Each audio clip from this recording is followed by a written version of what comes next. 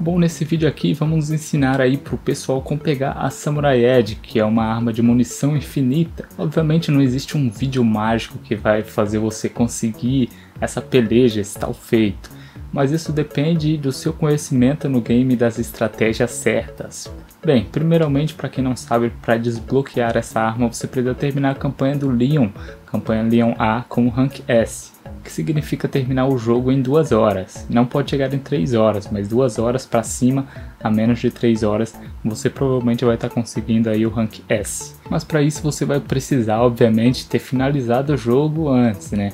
Porque você precisa de um certo, um grande nível, na verdade, de conhecimento aí do jogo, conhecimento do mapa é o mais importante, provavelmente. E saber quando o tempo está contando também é uma coisa muito importante. Por exemplo, enquanto o game está pausado, o tempo não está correndo. No inventário, no mapa, também essas coisas não contam no tempo do jogo. As cutscenes tem gente que acha que conta, tem gente que acha que não conta, mas de qualquer forma, pular as cutscenes é aconselhável, até mais porque isso vai fazer você chegar lá mais rápido e se falhar tentar mais rapidamente.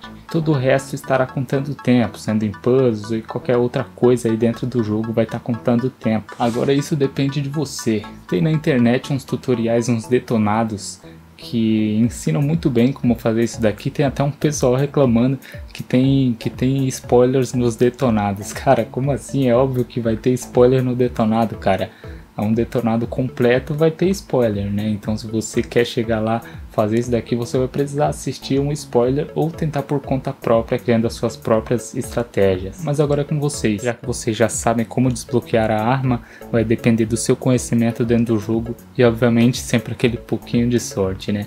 Espero que vocês tenham curtido o vídeo, deixa seu like aí para fortalecer, videozinho rapidinho aqui só explicando mais ou menos como liberar, porém é uma coisa difícil que não depende de quem está ensinando, mas sim de quem está fazendo, beleza?